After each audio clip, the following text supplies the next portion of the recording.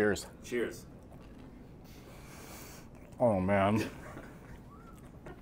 so I work on like anim animation systems, and uh, I do, I guess, a little bit also more um, like player control stuff. So uh, uh, dealing with with weapons and uh, general actions that players can do.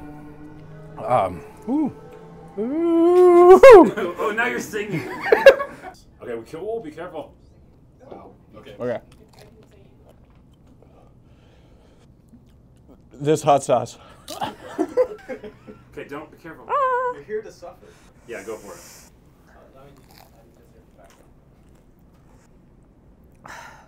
Ooh, that's gross.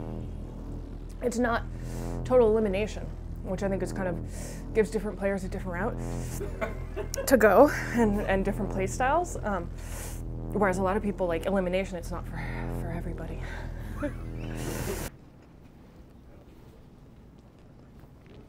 That is a gross hot sauce. There's nothing good about it. Dark Souls it feels a lot like what I'm feeling right now, actually. Dark in your soul. Yeah. I, I have one that I'm working on with Daniel, the animator. It's, it's called the Dad Dab. Uh huh. It's, it's, it's a move, it's a dance move. It's like that, but for dads. We cannot. We can't show that. Cheers. It's a little sweet at first, you know? hmm It's a little bit hotter. Kind of makes your throat kind of catch a little bit as you're talking. If you breathe in, it's worse. Like, that makes it worse. Dealing with things that have to be networked and stuff is you have to be really creative with getting them done, or is there some things that you just, you truly take for granted? So that's been a fun adjustment to get used to. Um, and then just AI is fun and hard as heck to make them work right. So that's always something that you're digging in, working on, and trying to improve all the time. And it's, it's really tough, but it, it's fun. You just tell it's like not a good thing. It's like I want to kill you. You should not put this in your mouth.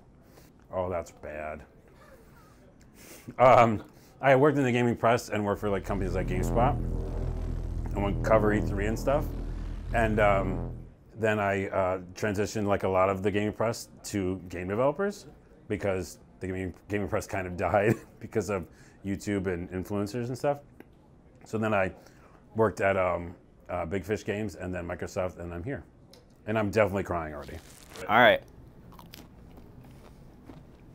Probably one of the biggest hurdles was um, doing it in a way that doesn't like overload the GPU with a ton of snow, uh, like footprints, doesn't overload the server with trying to store too much data about the footprints, trying to store them so that clients can reconstruct it when they get to new areas. Um, so kind of figuring out how the data flows between all those different systems was kind of the big hard part. Then you're fine. I'm not fine.